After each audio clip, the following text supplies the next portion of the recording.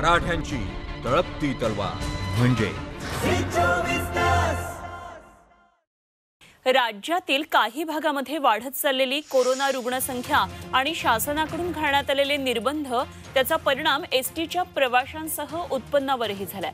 दहा दिवसामध्ये सात लाख प्रवासी संख्या कमी झाली आहे आणि दर दिवशी चार कोटी रुपयांनी उत्पन्न घटलेलं आहे. एस टी वाहतूक पूर्ण प्रवासी क्षमतेनं चालवण्यास सुरुवात केली आहे आणि त्यामुळे एस टीची प्रवासी संख्या वाढू लागली उत्पन्न देखील मिळू लागलं. दररोज तेहतीस लाख प्रवाशांमुळे सोळा कोटी रुपये उत्पन्नाची तिजोरीमध्ये भर पडत होती आणि आता पुन्हा एकदा वाढत्या कोरोनाच्या रुग्णसंख्येमुळे आणि निर्बंधांमुळे एस टीची प्रवासी संख्या आणि उत्पन्न देखील कमी झालेलं आहे. आणि कोरोनामुळे पुन्हा एकदा एस टी अशा प्रकारे संकटात चालली आहे. भंडाऱ्याची उधळण म्हणजे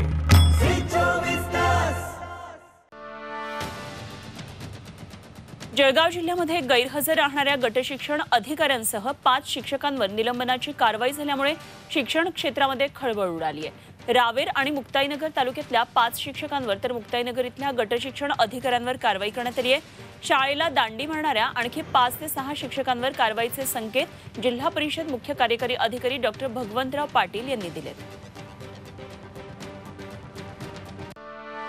वंचित बहुजन आघाडीच्या वतीनं सोलापूर जिल्ह्यातल्या अक्कलकोट शहरातल्या विविध प्रश्नांबाबत अर्धनग्न आंदोलन करण्यात आलं.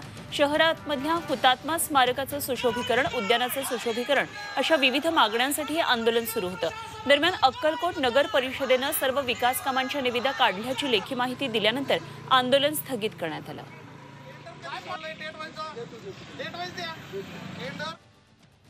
अकोला जिल्ह्यातल्या प्रतिष्ठित नागरिक व्यापारी आणि नोकरी करणाऱ्या नागरिकांना हनी ट्रॅपच्या जाळ्यातून पैसे लुटणाऱ्या टोळीचा पडदाफाश झालाय. संतोष यादव राहुल इंगळे अक्षय चिरवाडे आणि प्रीती नामक युवतीला अटक करण्यात आली आहे. सराफ व्यावसायिक आणि जिल्हा परिषदेतल्या एका लिपिकाच्या तक्रारीवरून पोलिसांनी आरोपींना अटक केली आहे. सोशल मीडिया व्हॉट्सअपवरून संपर्क करून ही तरुणी अनेकांना ब्लॅकमेल करायची.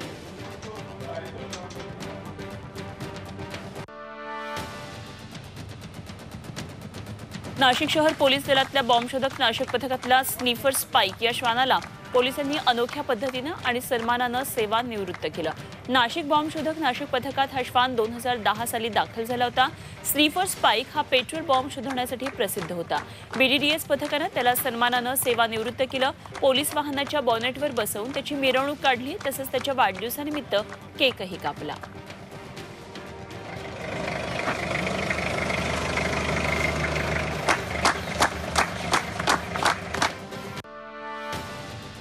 बीड जिल्ह्यामध्ये आजपासून दहावी बारावीचे वर्ग वगळता सर्व शाळा आणि कॉलेजेस बंद ठेवण्यात येत आहेत जिल्ह्यामध्ये कोरोनाचा संसर्ग वाढत चाललाय. रोखण्यासाठी खबरदारीचा उपाय म्हणून हा निर्णय घेण्यात आलाय. जिल्हाधिकारी रवींद्र जगताप यांनी हे आदेश दिलेत आणि यानुसार दहा मार्चपर्यंत दहावी आणि बारावीचे वर्ग वगळता सर्व शाळा आणि कॉलेजेस बंद ठेवण्यात येणार आहेत. आई भवानीचा गजर. म्हणजे? चोवीस